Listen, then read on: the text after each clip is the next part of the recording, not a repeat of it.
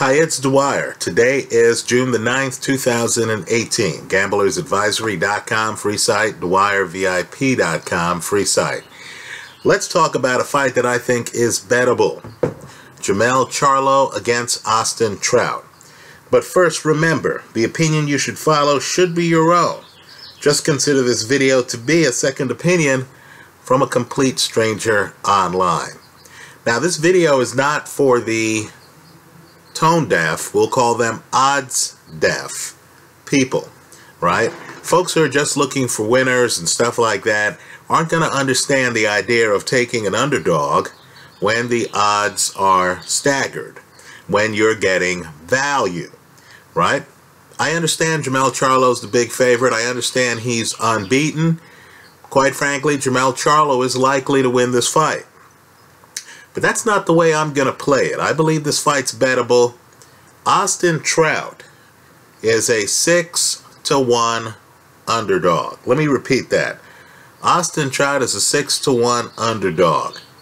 I personally don't believe that there is a fighter at 154 pounds who would beat Austin Trout in 6 out of 7 matches, which is what the odds suggest. Let's go one step further. Understand, Austin Trout's a guy who fought Canelo, went the distance. He fought Erislandy Lara, went the distance. He fought the bigger Charlo brother, Jermall Charlo, who right now is at middleweight. He went the distance. I understand. Jarrett Hurd takes him out in the 10th round of their fight. Again, second half of the fight. But understand, Jarrett Hurd is a big fighter, physically big, who is very high volume and who wants to trade in the pocket. That's very different than Jermell Charlo, who is a stylist and who is low volume. The bet I'm proposing here, and understand the hedge, we're just trying to set it up. So either one side ensures the other perfectly or imperfectly, right? Or we could win if either half of the bet wins, right? The bet I'm recommending is to take Austin Trout at 6 to 1 odds. Big underdog. Take Trout to win the fight. Hedged with the over. Nine and a half rounds, folks. That's the midway point of the 10th round at a minus 300. Let's break it down numerically. If I want to swing for the fences, right, I can put $1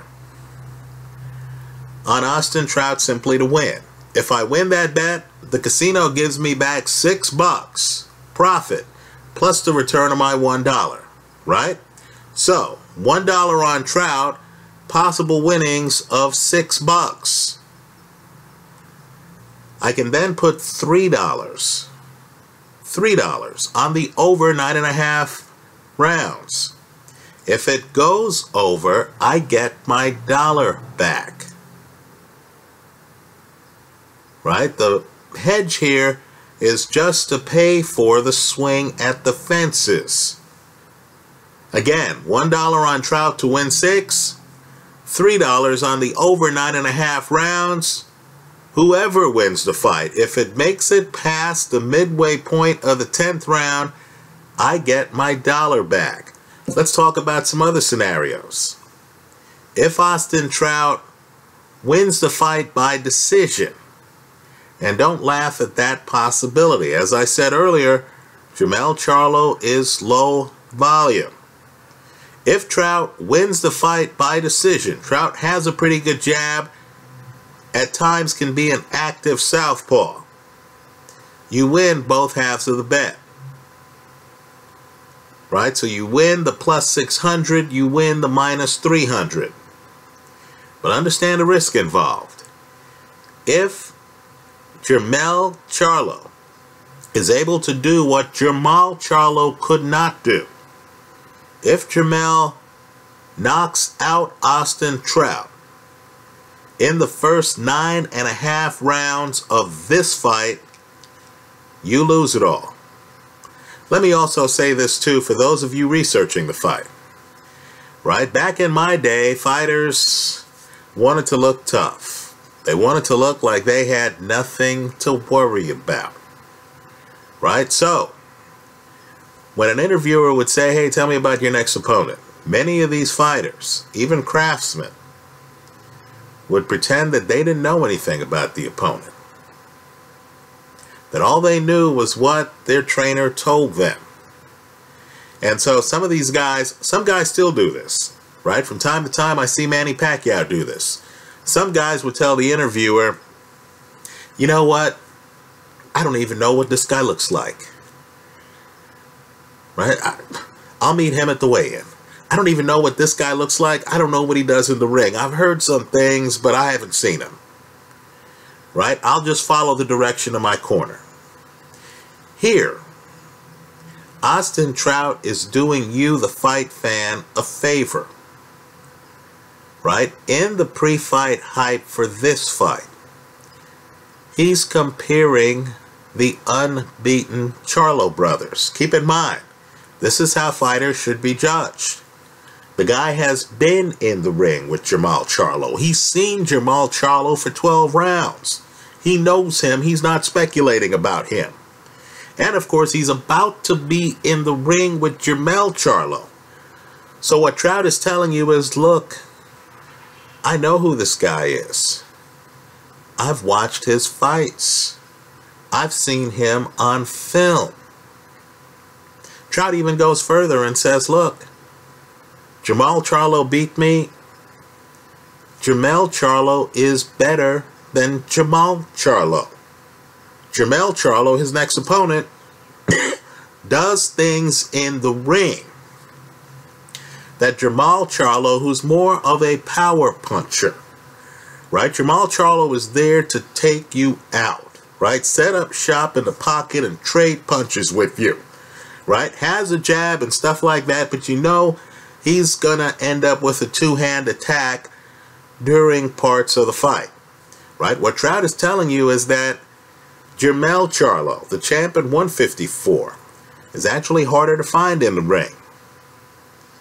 It's more of a chess match. You don't really know what he's going to do. He's giving you different looks. He's giving you different angles. Right? He's doing different things. Now, what that tells me, and I understand to many, they're going to say, well, he lost to Jermall Charlo. And now he's saying that Jermell Charlo is better than Jermall Charlo. What conclusion should I reach? But understand, we're asking a different question here. We're asking the simple question of, has Trout learned anything right? Is Trout going to do anything different? And does Trout have the opportunity to beat the 6 to 1 odds or to get this fight into the last two rounds and a half? I believe Trout's a live underdog. Right again, Jermell Charlo has looked bad to me in some fights. He looked great in the Erickson Lubin fight, but I personally don't learn a lot from first round KOs where you catch the guy cold. Right? Charles Hatley, let's face it, Hatley isn't in Jermell Charlo's league. Austin Trout is. Understand, Austin Trout used to spar with one of history's better middleweight champions. Sergio Martinez. Right? I personally feel Austin Trout beat Canelo. Right? Understand too. Canelo knockout puncher. Jermall Charlo knockout puncher. Trout goes 24 rounds with them. 24. Right? He's the definition of KG veteran. Right? He's been in with world-class fighters. He's held his own right? So what we're really doing here isn't attacking Jermell Charlo, who I think's a tremendous fighter. As I said, Jermell Charlo probably wins the fight. What we're actually doing is attacking a preposterous boxing line. Again, no fighter at 154 pounds. None. Should be a 6 to 1 favorite over Austin Trout. Right? Understand. He's fought the best in the division already. Folks, he went 12 rounds with Erislandy Lara. Right? Jarrett Hurd stops him. Okay, fine. 10th round. 10th round. Here the over-under is 9.5 rounds. In other words, the midway point of the 10th round. In other words, Trout is tested. He's a step up to me from Charles Hatley. Right? He's far more experienced than Erickson Lubin. Understand, I still think Erickson Lubin's special. But let's just say Trout has vastly more experience than Erickson Lubin. Right? So, I'll be the casino's Huckleberry. This is an odds play. This is the kind of thing where you're in the casino and you say, yeah, I think I think Jermell Charlo should be the favorite. Then they tell you the odds and you say, oh, I need a piece of this. What do you tell me? Six to one? Is that right? I'll be the casino's Huckleberry.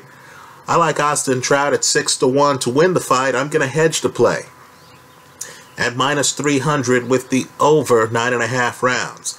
Why is a minus 300 viable as a hedge? It's because you're getting better than a plus 300. On the other side of the play, you're getting a plus 600 on Austin Trout simply to win.